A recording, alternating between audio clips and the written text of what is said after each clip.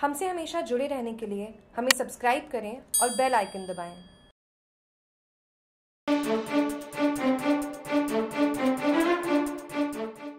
सिरियारी के राजकीय सामुदायिक स्वास्थ्य केंद्र के सामने जो सोजत से करेड़ा निजी बस में सावरिया से आ रही थी, उस बस में एक वृद्ध व्यक्ति की हार्ट अटैक आने से मौत हो गई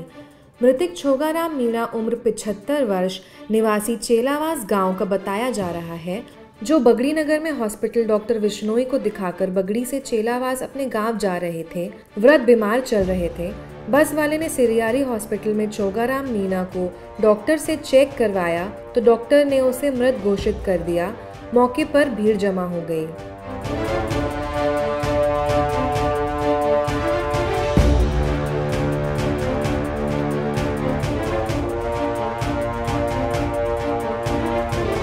मारवाड़ जंक्शन से जागरूक टीवी की रिपोर्ट।